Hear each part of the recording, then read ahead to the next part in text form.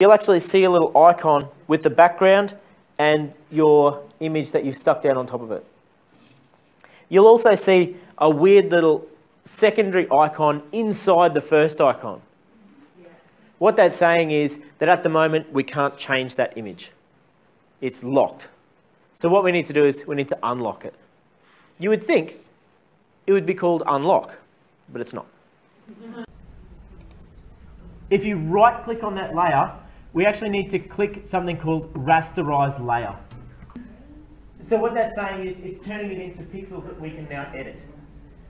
So we want to rasterize that layer. That, that image can now be edited, we can change that in any way we like. So what we're going to do now is a little bit of the manipulation stuff. We're going to, um, we'll place another image on top, your selfie image, and then, so that'll be a little bit of practice of doing the exact same thing we did there. But then we're going to cut the background off of that selfie image that we stuck down.